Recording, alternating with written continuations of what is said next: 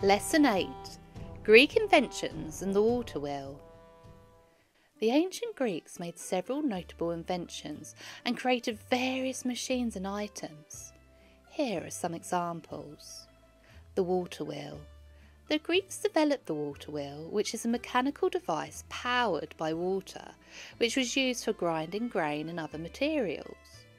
This invention revolutionised the process of milling and has a significant impact on agriculture and industry. The Antikythera mechanism. The Antikythera mechanism is an ancient Greek analogue computer believed to be used for astronomical calculations.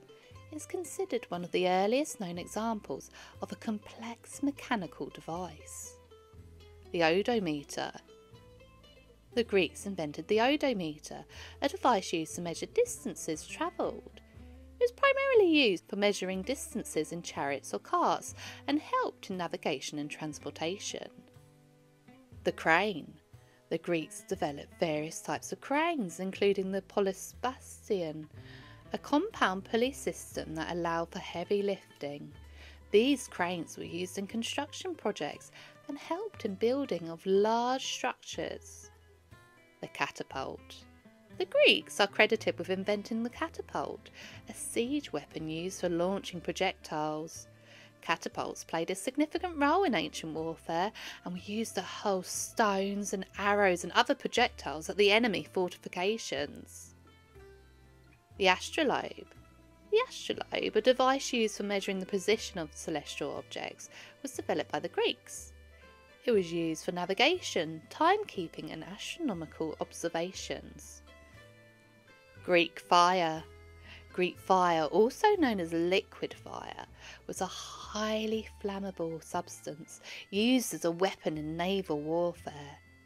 Its exact composition remains a mystery, but it's known for its ability but to burn even on water. Now we're going to discuss a little bit more in detail about water wheels. A water wheel is a mechanical device that uses the energy of the flowing or falling water to perform its work. Here's how it works. Structure. A water wheel consists of a large wheel or a set of wheels mounted on a horizontal or vertical axle. The wheel is typically made of wood or metal and has a series of blades or buckets attached to its outer edge water source. The water wheel is placed in a location where it can interact with a flowing or falling water source, such as a river or a waterfall. The water is directed towards the wheel to make it turn.